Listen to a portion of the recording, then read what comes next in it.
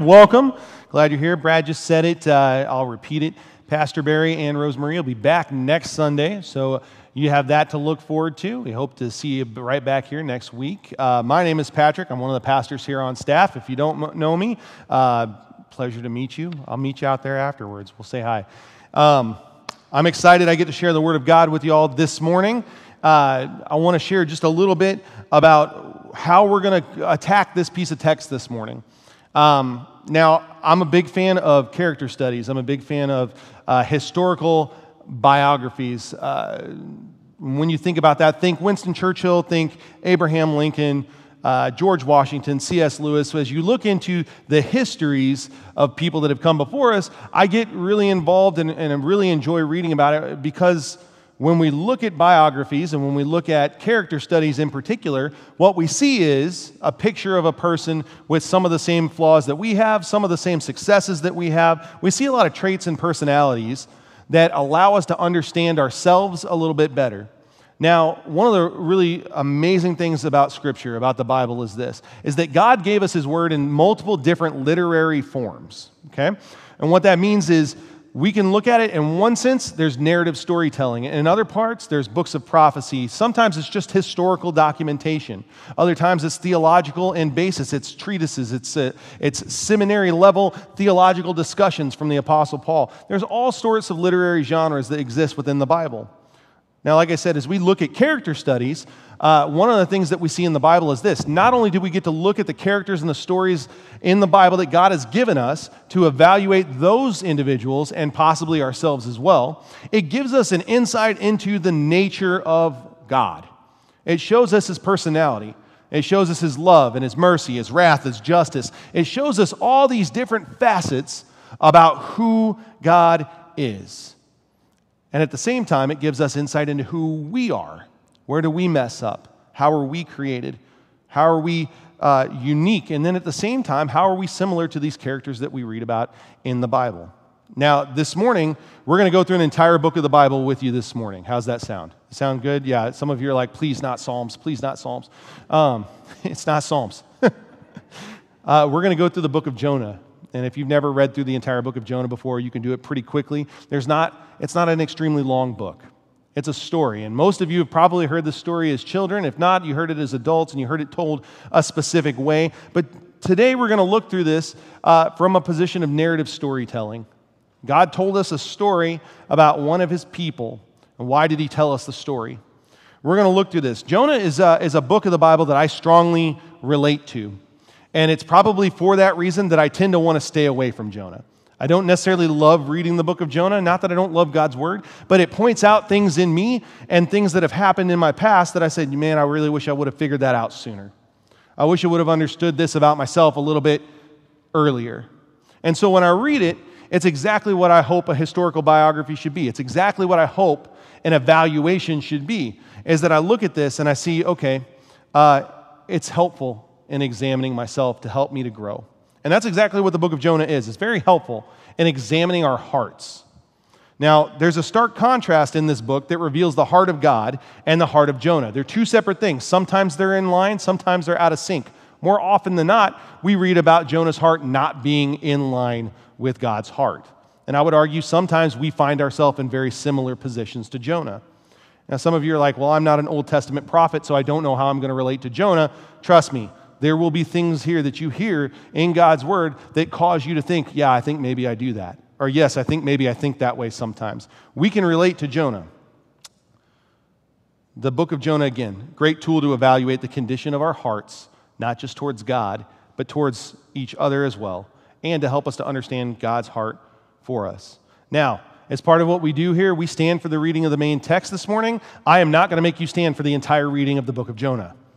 So, what I would ask you to do is we want to pray and invite the Holy Spirit to speak through the text to us this morning, to honor God's word above other things, and to, to be able to give that honor where it's due. So, would you please stand with me as we pray this morning? Father God, I thank you right now for this church family, Lord. I thank you for your word. God, I, I, thank you right now, Holy Spirit, that you make this word come alive in our hearts. God, that you soften our hearts and you open our ears to the truth that you've given us in your word.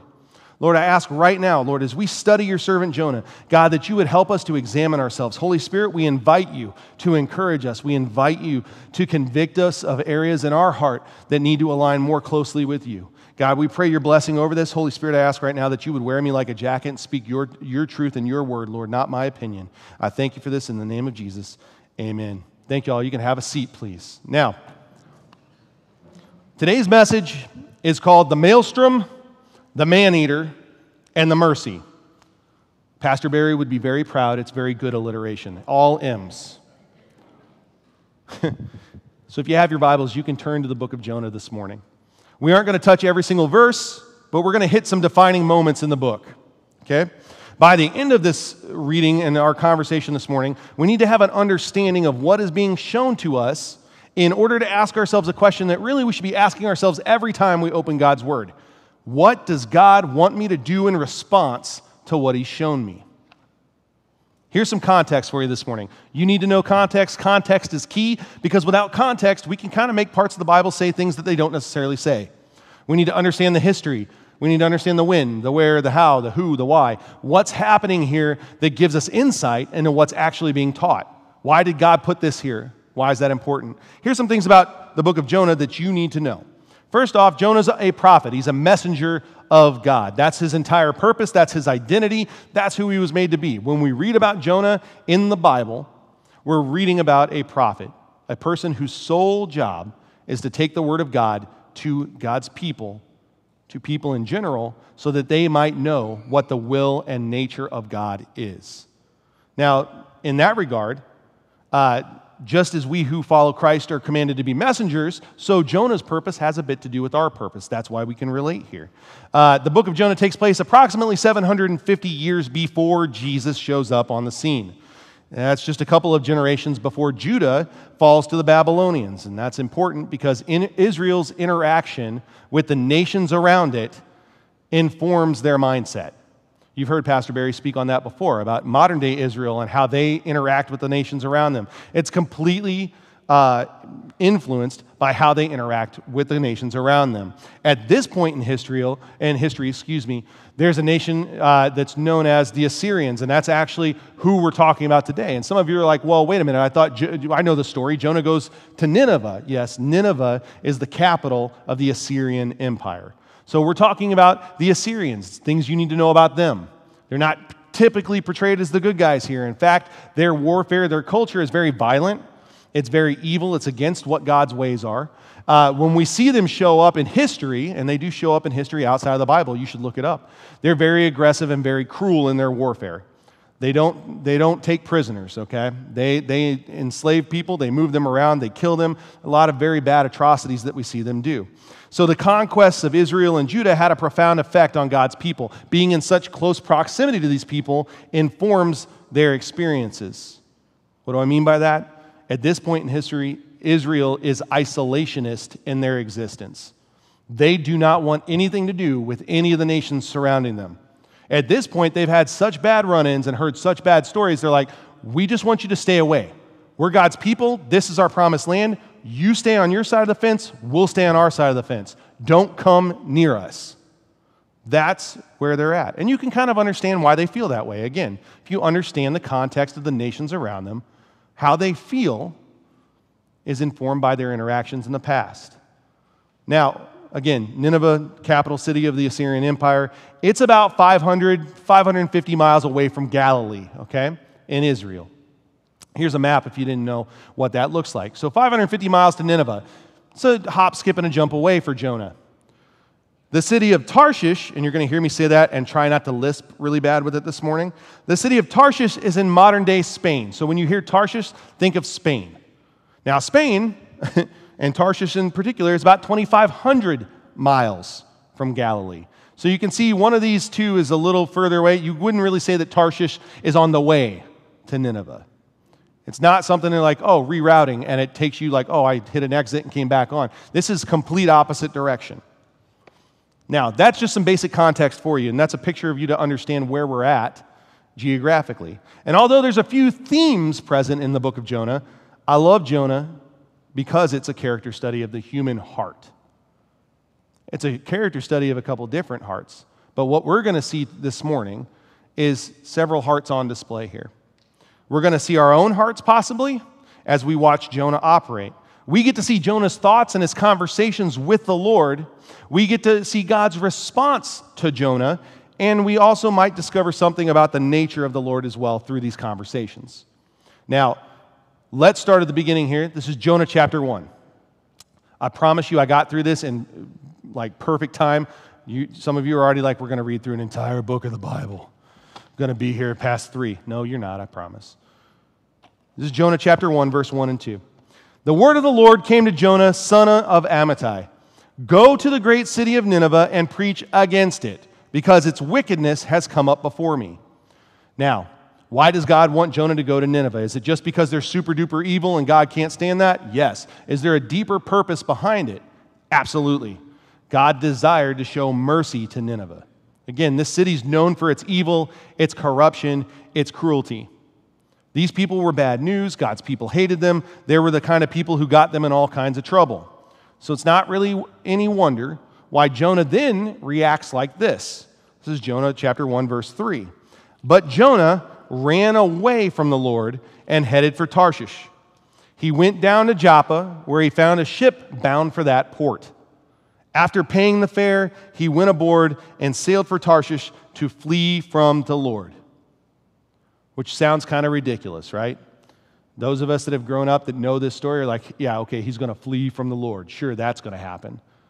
But that's what Jonah was attempting to do. He was so against this idea that the Ninevites the Assyrians were going to get an opportunity to repent, that he had to get away from the God that told him to do it. That's how repulsive the idea was to Jonah.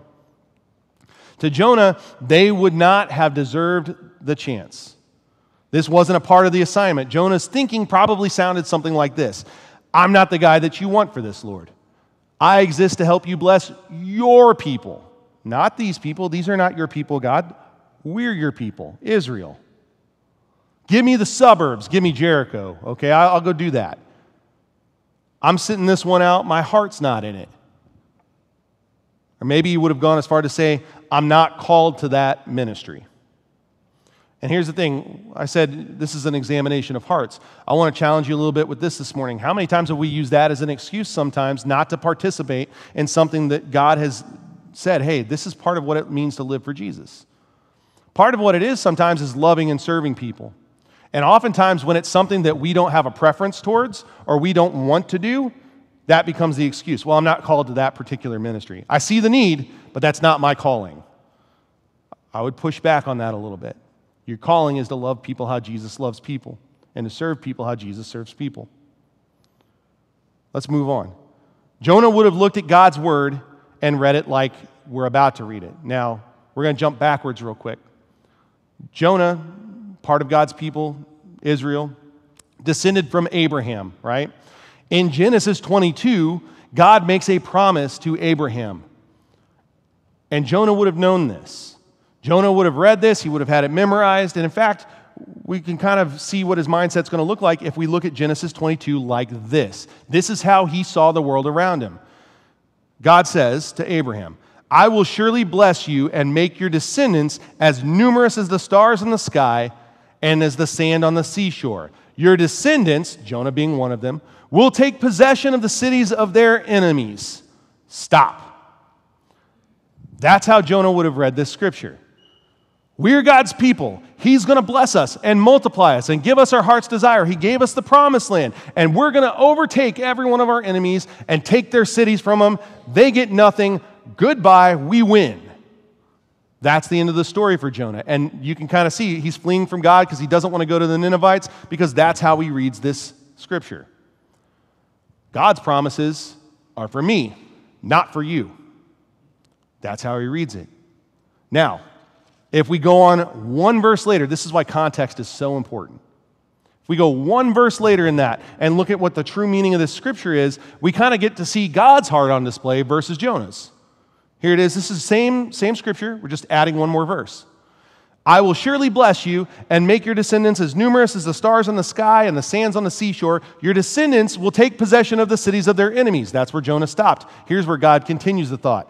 And through your offspring, Jonah of which being one, All nations on earth will be blessed because you have obeyed me. God's heart was to extend mercy and goodness and grace to people, to use Israel, his people, as a blessing to every other nation. Jonah's not getting that. It doesn't make sense to him. God wanted them to take possession of the cities as a way of showing that they're being blessed, that their God is powerful, that their God can be trusted. That was the purpose of them occupying their enemies' territories. It was not to vanquish them and to watch them then shuffle off into hell for the rest of eternity. It was to give them the opportunity to see the power and the grace of God. The entire purpose of, of God's people was to be a blessing to other nations by showing them the God that they served. In the same way, you and I exist to be a blessing to other people, to give a testimony to the God that we serve. Now, I read this and I, I, can't help but wonder maybe sometimes if we get caught up in our own justification so much that we lose sight of this purpose as missionaries to the lost. Somehow we get focused on what we have and who we are, but we forget about the purpose for which we have been blessed and who we are called to take that blessing to. This was God's purpose for Jonah, but he runs from it. So, going back to Jonah chapter 1, verse 3, we get why Jonah, following his own heart instead of God's heart, caused him to run. And my chapter heading in my Bible reads Jonah flees the presence of the Lord. And I think that's, that's probably appropriate because it, in the presence of the Lord, there can be freedom, there can be reconciliation, there can be grace. Jonah doesn't want to be in that presence if that means grace extended to somebody else that's not like him. We got to be really careful about this. We have to look at the world around us and understand we were just like them before Jesus. So, if Jonah's not going to go to Nineveh, then we probably shouldn't go there just yet either. We got to take a, a, detour in this story. Where are we going to go to then? Well, we're going to go to the first stem on the slide. We're going to go into the maelstrom. Now, what is a maelstrom? A maelstrom is a sudden, intense storm. This is not the five minute sprinkle shower that shows up that the weather guy in Kansas City forgot to mention. It's not just a slight breeze that knocks a few leaves off the trees. This is what's on par with a hurricane in the Mediterranean Sea. This is a very intense storm. In Jonah 1, we're in verse 4 here, it says, Then the Lord sent a great wind on the sea, and such a violent storm arose that the ship threatened to break up. That's pretty important. That's pretty powerful. That's a lot of really big waves and a lot of really strong wind. All the sailors of the ship were afraid, and each cried out to his own God. And they threw the cargo into the sea to help lighten the ship. That's important too, because the culture around you right now, as they're being tossed around, are calling out to what they call their own gods. Well, this is my truth. This is my truth. This will save me. This is my hope. And they make up their own hope because they don't have one. And they're willing to just about abandon everything about what makes them God's creations in order to get hope. And they don't have it. They're in a bad situation with no way out. Except for Jonah's in the boat. Except for you and I are, live in the world. We just don't have to be of it. We move on. Jonah had gone below deck, where he lay down and fell into a deep sleep. Now the captain went to him and said, How can you sleep? Get up and call on your God. Are you nuts, man? Get up. Maybe he will take notice of us so that we will not perish. We read that the captain and the crew, they're fighting for their lives. The captain's desperately trying anything he can to save his ship and crew. And he finds Jonah asleep in the ship. And this unfortunately, is a perfect picture of what's going on in Jonah's heart at the moment as well. There's people in desperate need of saving, there's people that need God to intervene. And instead of taking the news that God had entrusted him with to them, he's sleeping on it, not doing anything with it. You guys figure it out on your own. Jonah thought his purpose was only to relay God's messages to his people, but God already told his people their purpose. And even after hundreds of years of disobedience and the consequences of it, they were still missing the point. This is Jonah, verse 8, still chapter 1. So they ask him, Tell us, Jonah, who is responsible for making all of this trouble for us? What kind of work do you do? Where do you come from? What is your country? And from what people are you? And he answered, I'm a Hebrew, and I worship the Lord, the God of heaven, who made the sea and the dry land. And this terrified them. They asked, What have you done? They already knew he was running away from the Lord because he had already told them so. They know something's not right. And just like the people around you were desperate for answers and for hope, that captain and his crew asked Jonah now, What in the world is this storm? What does it mean? Why is it all happening? How do I save myself? So Jonah answers that he serves God who was in control. Jonah had the knowledge that God was everywhere and in control of everything. God was trying to remind Jonah of this to get him back on track with what his mission was. He was also building a mission, or excuse me, a message of hope for Jonah to carry as well. As you're going to see as we go through this, there's, there's, this story is, a, is deep. We hear it as kids sometimes and we think, oh, it's about obedience and disobedience. And it's so much more than that. God's building a story into this interaction with Jonah that's going to be echoed 750 years later. It's going to be echoed 2,000 years after that through us. We got to pay attention to it. Even though Jonah had basically abandoned his calling, God was still working with him. He's trying to re engage him in his purpose. God brought the maelstrom to Jonah as a way of showing him hey, it's not like you can just run from me. Will you please wake up? People could die here, and you seek to abandon them. Wake up and tell them who I am. Now, I mentioned earlier, Jonah is hard for me to read sometimes.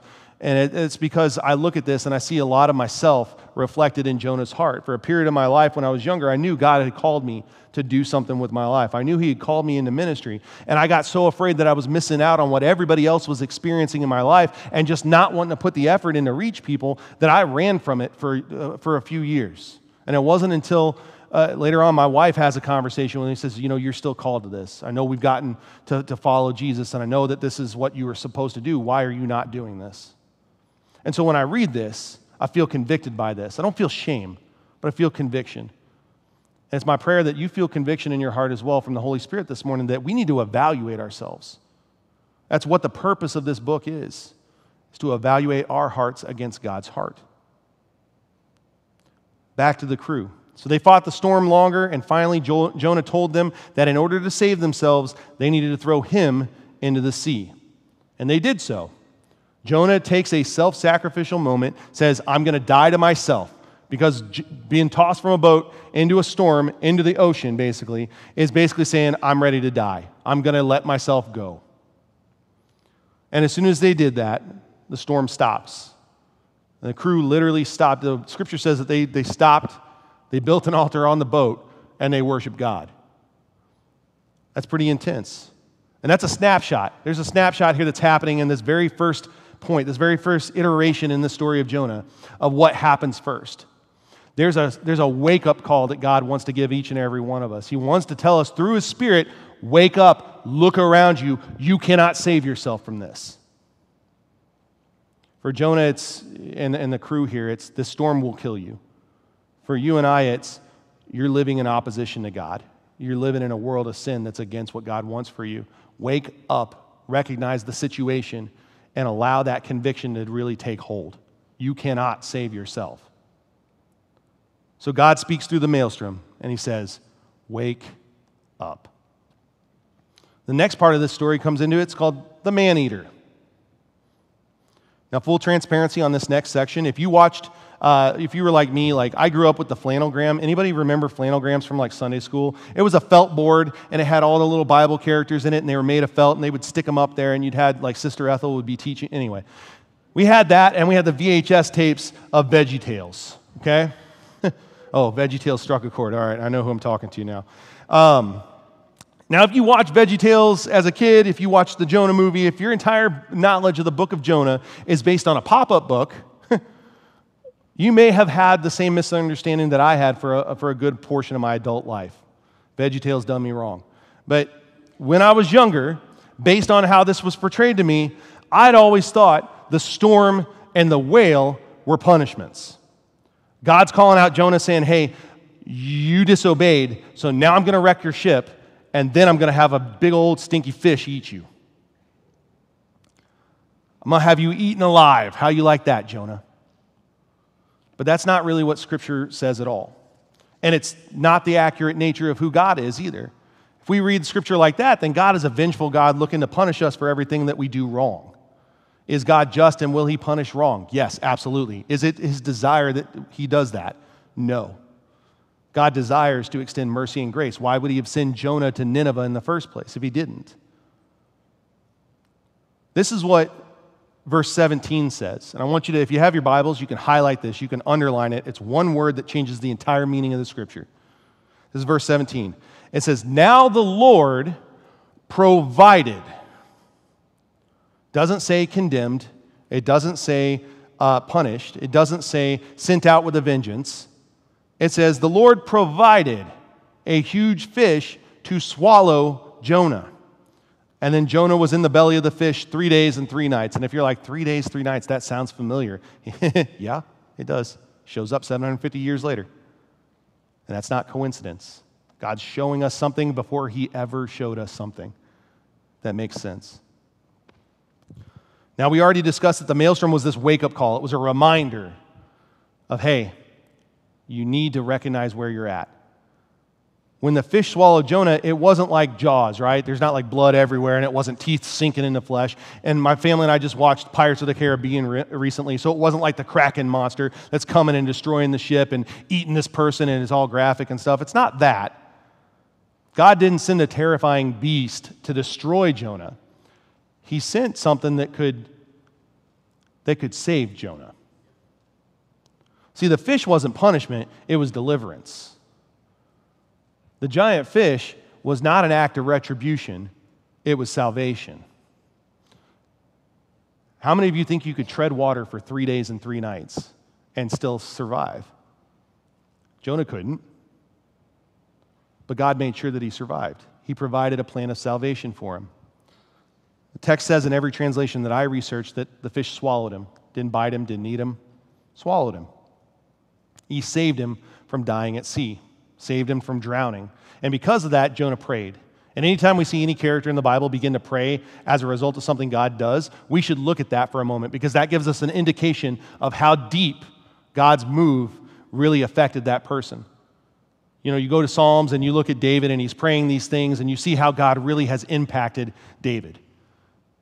You go to, you go to, to see Hannah, right, in the book of 1 Samuel, and you see how God has affected her because he's given her a child. You see all these prayers. You see Mary's prayer. All of them, they're all in there. Pay very close attention to the heart change that happens in response to what God has done. In this case, pay attention to the heart change that has not happened. Jonah chapter 2 says this he's praying to the Lord. In my distress, I called to the Lord, and he answered me. So far, so good. From deep in the realm of the dead, I called for help, and you listened to my cry. This sounds like something David could have written. It's sounding pretty good so far. But then we jump down into uh, verse 8 and Jonah's entire heart gets on display for us to see. Those who cling to worthless idols turn away from God's love for them. But what I, with shouts of grateful praise, will sacrifice to you. And the rest of it goes on here. Salvation belongs to the Lord. What I want you to catch is this. Is a very me centered prayer. He's very quick to give God a lot, of, a lot of praise for saving him, but he still hasn't got the idea that what he's actually there to do. And that God's love and his salvation isn't just extended to him, it's extended to other people. Jonah resumes his call, but he still misses the purpose. Those who pay regard to idols will never have your love, is what it says in one of the verses. But I sacrificed to you, and you saved me. It's still a very me centered heart. There's nothing wrong with recognizing how good God has been to you. But when we get to a point to where it's all about us and nothing about God's love for anyone but us, we miss out on the blessing it is to actually be able to minister to other people. Jonah saved by God through this act of repentance. Okay? The Lord miraculously provides salvation for, to him in the form of this giant fish, this man eater. And this point was salvation in his life, an illustration of God saving the wayward and the disobedient. Should we ever get so bold as to think that somehow we're better than somebody outside of the church. We need to be reminded of this. That God treated Jonah when he was wayward and disobedient and with the same grace that he hopes to extend to those that don't even know him yet. We were all sinners at one point. We have all made mistakes at some point. The difference is accepting grace and salvation or not. So God speaks through this man eater. Is what he says. Says, I will save you from death. That's what the fish is. It's salvation from death. And this is part of the gospel that's being preached in Jonah through Jonah's life. The last thing we have, it's my favorite part. This is the mercy. We've seen Jonah do everything wrong. We've seen God determined to help Jonah. And although all three of the sections that we've covered so far, the beginning of his calling and why he ran, the storm, the maelstrom, the man eater, although we see these, and we could see these as God showing mercy to Jonah, God's desire again to, be, to begin with was to give Nineveh the opportunity to know him and experience mercy. And at the same time, Jonah should be rediscovering the same things. So the Lord helps Jonah, provides for him, because his message needs a messenger. This is Jonah chapter 3. We're jumping ahead a little bit. Verse 3 says Then the word of the Lord came to Jonah a second time Go to the great city of Nineveh and proclaim uh, to it the message I give you. Jonah obeyed the word of the Lord and went to Nineveh. Now, Nineveh was a very large city, and it took three days to get through. That's important because they're setting up, again, something for us to look at Jonah's heart with. Let's check this out. Nineveh is three days' travel from one side to the other. Jonah was sent again to Nineveh, same as before. We read the city is huge, the job is big, that's a lot of people. Jonah's just one dude. But God clearly was with him. You don't just get into a storm magically, get saved by a fish magically, show up on the beach magically, and then make it to Nineveh magically. It's not coincidence. Secondly, I didn't know this until I studied this this time. Think about this for a second. We already said the Assyrians are bad guys, right? They're, they're violent, they're cruel, they do all sorts of things. If God spit Jonah up on the beach to go to Nineveh, he's going to have to cross through Assyria, right? What do you think the odds of Jonah making it to Nineveh in the first place without dying or being murdered is? Moral of the story there is hey, listen, if God's calling you to do something, don't for a minute think that he's not going with you or that he's not providing a way for you to get there. God clearly communicated to Jonah and it was giving him safety as he went. And there's no guarantee that the Ninevites are going to hear this and do anything with it. A lot of times, I think you and I probably get into a situation to where we're like, you know, I would share more about Jesus with people if I felt like they were more receptive to it. Can I liberate you from something this morning? The Bible already did it, but I want to remind you of this: is that you're not responsible for other people's hearts. You're responsible to share the gospel that could change their heart, you're responsible to share the love of God through your life and through your words. If you're like, I'm just waiting until they love me enough to love Jesus, that's not going to work. Love them enough to share Jesus with them and let God take care of the heart. We stop doing this so often because we're afraid that we're going to get rejected. Accept the fact that they may not accept what you have to say, plant the seed, and move. That's what's being asked of Jonah here. Now, how do I know that we're supposed to do that? Easy. One of my favorite verses, the youth in, the, in this church know it very well. It's Matthew, my favorite book of the Bible. We're going to jump forward 750 years. I want to look at this real quick. This is the calling that each and every one of us has on us. As we look at Jonah, we can say, well, that's not how I want to accomplish this. This is what we're called to do. Matthew 28 18 says this Then Jesus came to them, the disciples, and said, All authority, not just some, not a little bit, all of it, in heaven and on earth has been given to me, Jesus. With that authority, I'm sending you. Therefore, go and make disciples of all nations, baptizing them in the name of the Father and of the Son and of the Holy Spirit, and teaching them to obey everything I've commanded to you. The commission that Jesus gives us as his followers, as his disciples, is not really that different than the commandment that God gave to Jonah. Go to this city, tell them they're wrong. I have the authority. They're going to have to repent. When they repent, they'll begin to know me and their lives will change. It's not that different from what Jesus said. In fact, I would argue it's the exact same message just before Jesus shows up on the scene. And this is the, me- the mission and the message that we're supposed to carry. Let's jump back into Jonah. This is chapter 3. Now, Jonah began by going a day's journey into the city, proclaiming, 40 more days, and Nineveh will be overthrown. How many days did we say it took to get across Nineveh? Three. How do we know that Jonah's heart's still not right? He didn't even bother to go across the city. He didn't travel the back roads. He didn't go to the very center of it. He didn't find the highest place to shout it out. He went as minimal a distance as he could into the city and proclaimed it there. God, I'm going to do this because you saved me with a whale and you got me out of the storm. I'll do this, but I'm not going to, I'm not going to give my all into this. This is not getting 100%. He goes in a day, stops. Hey, you got 40 days to get your act together, or God's going to blow you up. And then he leaves. That should kind of alarm us a little bit. Is that what we want for people? Is that what we want for the world around us? Do we want the world around us to go down in flames without any adequate preparation for it, without ever being told, look, my life changed? I had a storm around me just like you had it. I woke up, the Holy Spirit spoke to me, I accepted Jesus, I was saved, and then I was brought into purpose and mercy and righteousness. Is as we do that, how many people do we want to know that? Do you want people to know that?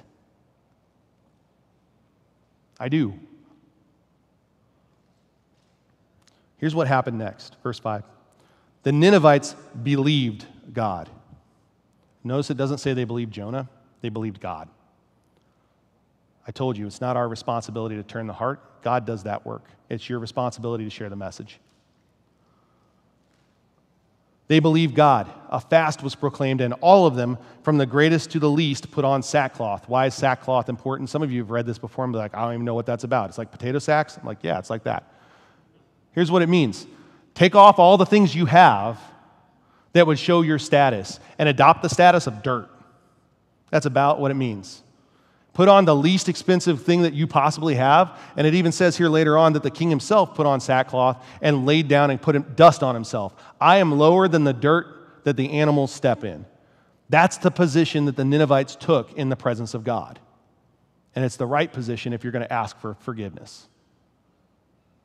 When Jonah's warning reached the king, this is the part I was talking about, he rose from his throne. How many of you guys have ever heard news before and like jumped out of your seat? Like, that's amazing. Uh, don't even shake your heads like you haven't done it. I've watched you watch Chiefs on TV before. When you hear something that crazy, that good, that terrifying, you get up on out of your seat and you do something about it. That's what's happening here. The king rose from his throne, took off his robes, covered himself in sackcloth, and sat down in the dust. And then he issued this proclamation in Nineveh by the decree of the king and his nobles. This is how much they wanted to make sure. This is the level of repentance. Don't let people or animals, flocks or herds, taste anything. Don't let them eat. Do not let them eat or drink, but let people, we talked about sackcloth being the low of the low, right? We should do that anyway, out of repentance, is what he's saying. But not just the people. Find that donkey and put sackcloth on him. He's literally find your animals, make sure that we don't offend God in any way, shape, or form. We don't want to die. So let's take every precaution. That's the level of like, I heard the news and my life changed. Let them give up their evil ways and their violence. The king says, Who knows? God may yet relent, and with compassion, even the king of Nineveh, the cruelest, most aggressive, evil ruler that they could have at the time, recognized that God desired to show compassion to them. Otherwise, why would he have sent this dude here? God may yet relent and with compassion turn from his fierce anger so that we will not perish. And when God saw what they did and how they turned from their evil ways, he relented and did not bring on them the destruction that he had threatened. In this situation, God's mercy abounded, and historically, even though Nineveh does eventually fall off the map, it does happen. It's not at this time. The people there repent from their wickedness, and God shows them mercy. But again, this is more than a story of mercy for Nineveh.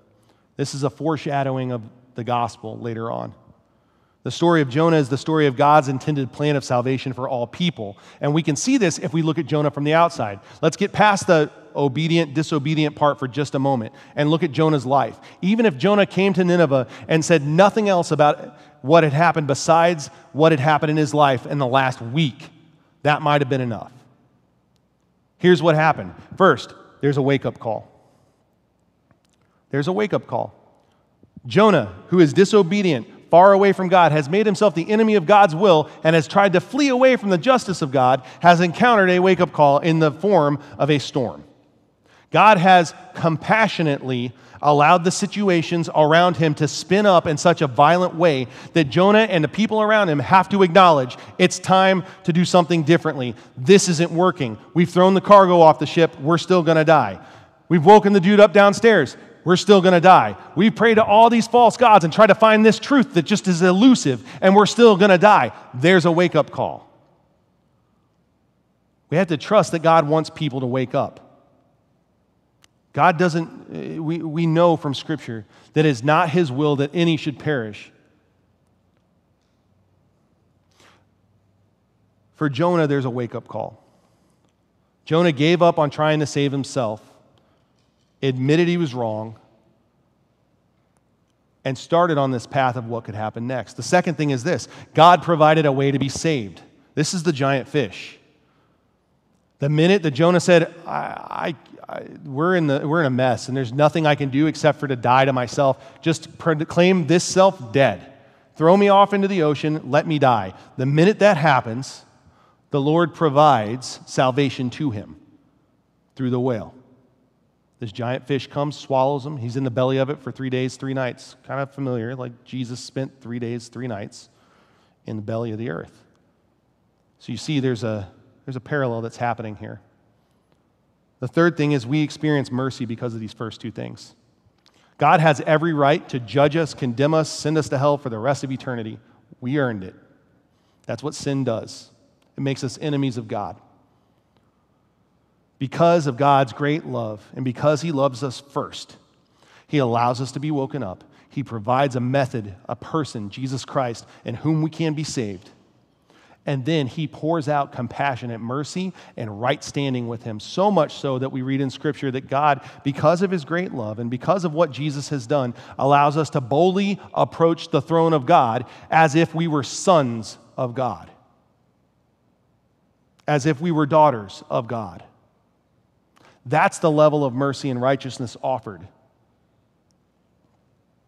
Jonah's life becomes a testimony to what God can do for the lost, the disobedient, the wayward, and those fleeing truth. Our lives are supposed to function in the same way. But Jonah is also, like I said, it's a story of two hearts. I'm going to ask the musicians to come at this point. Where the story of Nineveh receiving mercy is a message of hope for anyone that doesn't know grace in Jesus, the story of Jonah is a warning and a chance of reflection and self evaluation for the heart of every person that does know Jesus. Here's why. In chapter 4, we see Jonah angry that God has spared Nineveh. He's literally seething with anger to the point he asks God to just let him die so he doesn't have to watch God's mercy be poured out on his enemies. Can you imagine being so dissatisfied with the fact that God wants to forgive somebody else that you would rather die than see that person go to heaven? That's a whole level of hate. God help us if any of us feel that way. Jonah feels like they're not in the club. They don't get to be part of what we are. He does not feel like they deserve it. And even after all he's been through in this past week in his life, Jonah is still stupid to the idea that God desires to save people. He desires to show mercy. And all this pertains to the condition of his heart. He did his job grudgingly, not joyfully. He didn't delight in God's goodness, but was hopeful for destruction to the point that he asked again, God, just let me die. Jonah's not the hero of this story. When the kids' books are written and it's colorful and it's like, oh, look, that's a really pretty big whale. It looks hopeful. Oh, Jonah's heart changed. He's now obedient to the Lord. He's the hero. He's what we should be. Jonah is not the hero of this story. At the end of this book, Jonah is sitting there angry that God has done something compassionate and loving and merciful. His heart is still hardened. And in fact, because his will is so separate from the heart of God, he is in a worse position than the Ninevites that have just proclaimed repentance and devotion to God's will. God was always the hero of the story. And he desired to pour out his goodness through Jonah so that others might be blessed. In the same way, you're not the hero of your story. Jesus is the hero of your story. And Jesus desires that his words and his love and his salvation is poured out in you, but through you so that other people can know. God desires to bless, to provide deliverance, to offer mercy, and to offer purpose. I want to show you two things as we wrap this right now. I want to show you God's heart, and I want to show you Jonah's heart.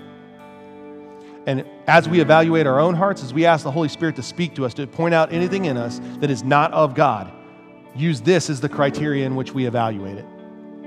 Let's look at God's heart. God's heart is a desire to bless. He desires people to be in relationship with Him. He wants them to experience all that He designed them to be.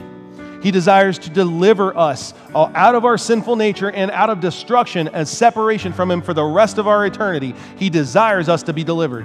How does He do that? He extends us mercy through Jesus so that if we can admit that we're wrong, then God can make us right. And finally, not only is He going to save you, not just to sit in a chair every week, not just to sit at home and be peaceful in the knowledge that you get to spend eternity with Him, but He's given you something important to do while He's here. Why? Because He loves you and because there's more blessing in being a blessing to others than there is to just receiving it. Now, Jonah's heart, on the other hand, is this Jonah doesn't want to go where it's uncomfortable. Jonah doesn't want to leave Israel. Those are his people. They're people like him. They look like him, talk like him, smell like him. That's who he wants to be around. He wants to spend his time isolated. Because if the problems are out there, I don't want them in my life. That would make me uncomfortable. That would make me a little bit messy. Somebody told me once that sympathy is feeling bad for somebody and not doing anything for them, but empathy is getting down in the mud with people and hurting where they hurt. Jonah has no desire to hurt where people hurt. Sorry, guys. Sorry, Nineveh. Enjoy hell. Not God's heart. He doesn't feel responsibility to anybody else, just to himself, just to his people. And it's that self love that causes him to run from God at first and then grudgingly give others a chance at the very end. I'm asking this. There is no points to this message tonight. This is a narrative. This is a story. This is a chance to evaluate ourselves on the heart of Jonah and the heart of God. But I do have one question. If you want to take anything away from it, I want you to leave with this. We can either have the heart of God working in us or we can have a heart like Jonah that's working against the will of God. And my question is which heart is going to lead you? As you walk out of here and encounter people, when you go to lunch or when you go to your neighborhoods or when you go to school, your kids go to school, when you encounter people at work, which heart is going to lead you this week? Do you care? I said earlier that reading this story should prompt us with the question what does God want me to do in response to this?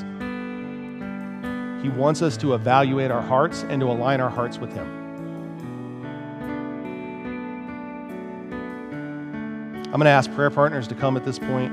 If you heard this message today and you're like, I had no idea that God was showing me that He had a plan to save me, that I was this wrong, that I, He's trying to wake me up. I had no idea that I need to be made right with God, that there's people literally that are here to help me walk into relationship with Jesus. If you're like, I just don't know Jesus and I need to know Jesus, I've got to get this salvation. I don't want to die then you need this this morning. And there's no special incantation. It's not, a, it's not a specific prayer that you need to pray. It's not memorized words, but your heart needs to be in line with God's heart. You need to recognize it's time for me to, to, to acknowledge where I'm at. I'm in a storm. I can't save myself. It's time for you to accept that God wants to save you through Jesus. And it's time to experience blessing and mercy. It's time. So we're going to pray, and after this, you can come up get prayer from, from these, uh, these individuals that are up here. Would you join me? Father God, I thank you for your word. Lord, I thank you that it's truth, that it's applicable for all things, for, for correcting, for rebuking, for encouraging, for teaching, Lord. It builds us up, it makes us into who you designed us to be. Lord, I pray right now for everyone in the sound of my voice right now that if there's anyone that doesn't know salvation in Jesus Christ in their life, Lord, that you would begin to pound at the door of their heart Holy Spirit, right now, that they would recognize the storm that they're in. God, that they would wake up to it and accept Jesus this morning. God, I pray right now that you would pour out abundantly your blessing and your promise and your purpose on them. For every heart, for every person that's in this room this morning, God, I pray right now that they would be reinvigorated with a sense of purpose and a passion to see those that are lost be found by you, Jesus. I pray right now that you would encourage them, Lord, to, to step out of comfortable places. God, you've not called us to easy living, but God, to purposeful life. I pray right now, Holy Spirit, that you would encourage us, build us up from the inside, give us courage to speak truth, give us compassion to love others. God, I pray your blessing and favor the, uh, over all of them as they go today. I thank you, Jesus. Amen. Come if you need prayer. God bless you.